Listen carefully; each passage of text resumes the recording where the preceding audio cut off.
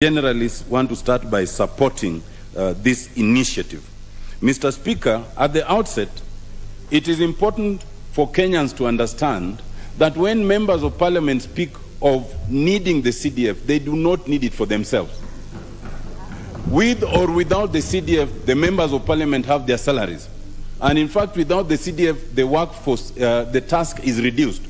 But Mr. Speaker, as we speak today, every day, and I'm sure I speak for all the members here, we get no less than 100 phone calls of children who are at home because they cannot get bursaries.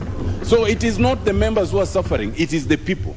I want to announce, Mr. Speaker, that the one thing that unites Kenyans, and I had the privilege to write this constitution, everywhere we went, the one thing people supported was the CDF. And I will explain why we did not entrench it at the time.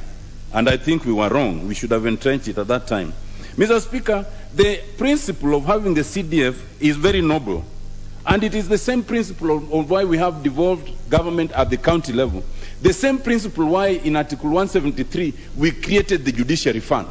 So it's a bit ironical for the judiciary to find that the principle in the CDF is unconstitutional, but the Judiciary Fund is constitutional. Mr. Speaker, at the outset it should be stated that although we support and I support this initiative and it will be moving forward, let it not be an excuse not to disburse CDF. I want to say here authoritatively, Mr. Speaker, that as we speak today, there is no court order, not of the High Court, not of the Court of Appeal, not of the Supreme Court, that stops disbursement of the CDF under the 2015 Act. None.